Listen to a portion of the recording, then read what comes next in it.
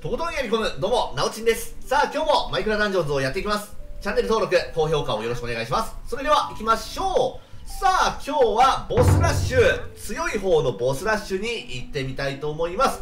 使う装備はこれ。冬の指先ですね。それに雷の矢筒を入れていきましょう。二つ入れなくても、多分一つあれば、えー、矢はそんなになくならないと思うのよ。で、ボスと怠慢になると、これ弱いので、えー、キノコと怒りをつけていきたいと思います。はい。今日はね、朝から古代狩りをずっとやって、とりあえずね、二つね、いいのが、いいってそこそこのやつね、が出ました。無限の、えー、黄金についてるハープクロスボウと、うーん、夜の棒じゃないんだよな、魂の棒の、うん、クールダウンショットがついてるやつはあるんだけども、まあまあ、もう少し、古代狩りやっていきましょうかね。はい。では、ボスラッシュ、強い方、行ってみましょうそれでは行きましょう。いきなり始まったな。あー、どうだ、2つないと。いや、いけるね。うん。ちょっと待って、なんかやたら痛かったぞ。そうか、そうか。防具のパワーが、えーと、200 51っていうのをちょっと覚えとかないとね。はいはいはいはいはい。雷強い雷強い。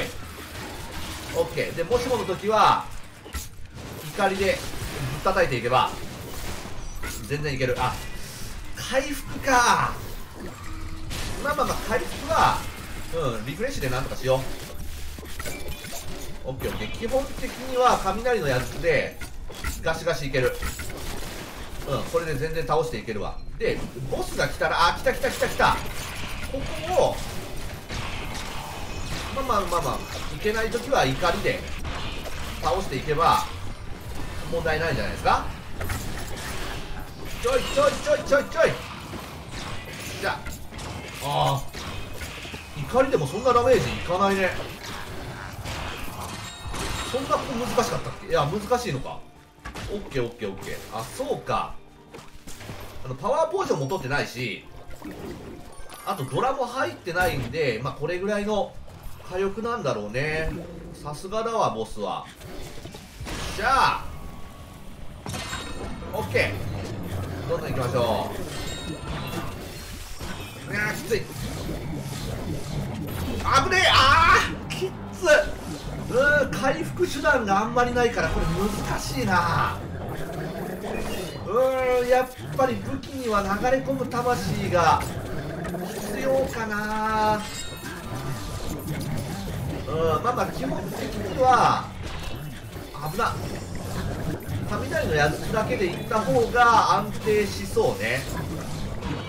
オッケーオッケー。で怠慢ぐらいになってしまえばはいはいはいはいはいはい。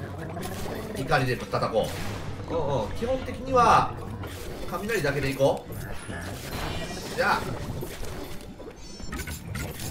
オッケー。次。どこにいる？あそっちにいた。キャプテンも来やがった。キャプテンいらないよ。キャプテンはいりませんよ。ちょっとでも処理しとかないとね。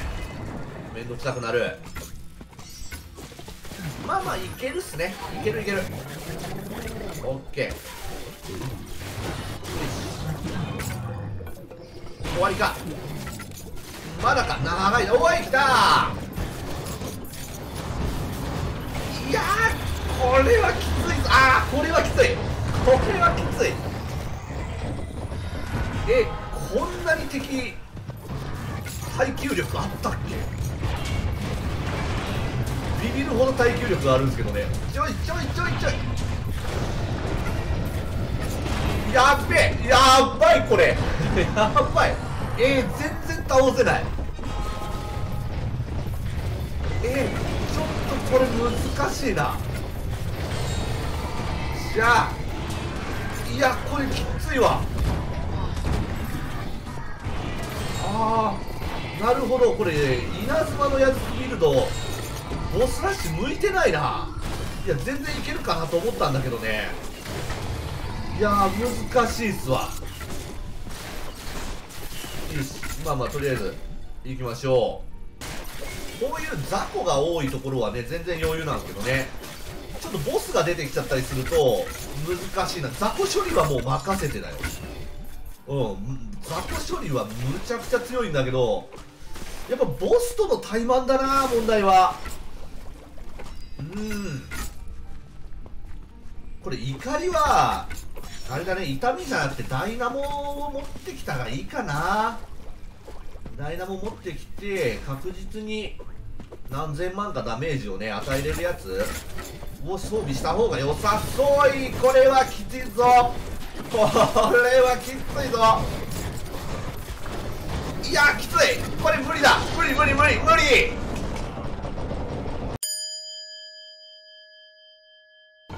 花火で再挑戦してますけども花火も辛い。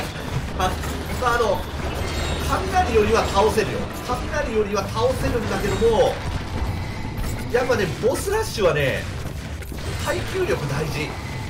うん。ボールがものすごい欲しい。オッケーオッケーオッケー。火力はねまあまあまああるっちゃあるんだけどね。耐久がないから厳しい。よしよしあでもまあまあまあそこそこはいけるぞ。わあうわえらいこっちゃえらいこっちゃ。いやでも数がいればいける。